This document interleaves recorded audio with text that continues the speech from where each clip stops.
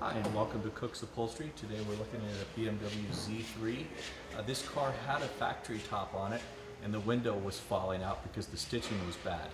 Uh, it just doesn't make any sense to try and re-stitch the window back in place because you have to take the top off to do that.